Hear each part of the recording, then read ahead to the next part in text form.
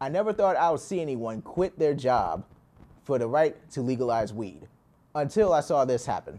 Now, everything you heard is why I, the actual owner of the Alaska Cannabis Club, will be dedicating all of my energy toward fighting for freedom and fairness, which begins with legalizing marijuana here in Alaska.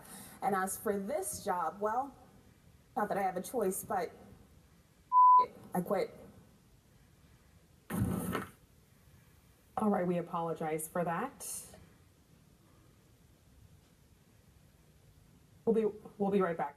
She literally decided to throw an F bomb on air and then walk off the set just so she could fight for her right to legalize weed in Alaska.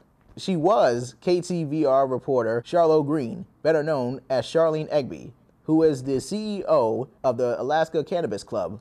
Here's also a video of her explanation to question what they said was wrong, why they were given authority, and where their claims of danger and peril come from.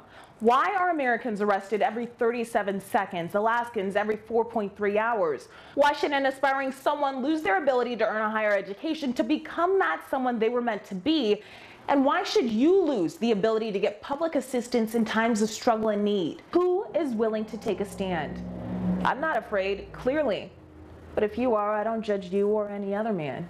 Nearly a century of marijuana prohibition and stigma have stained America, the land of the free and home of the brave. On November 4th, if ballot measure 2 passes in Alaska, everyone will be legally able to possess an ounce of marijuana and grow up to six plants as well as allow for the sample of possession of related paraphernalia.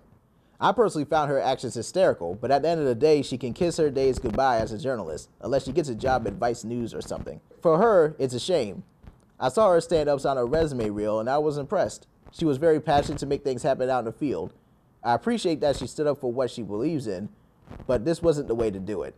She should have done it behind the closed doors and not hurt the station that way. Never make enemies to people who hire you because you never know if you need their help in the future. Well, good luck to her in her fight against marijuana, and for her, I hope she's successful for smoking a little pot in her home and fighting for what's right.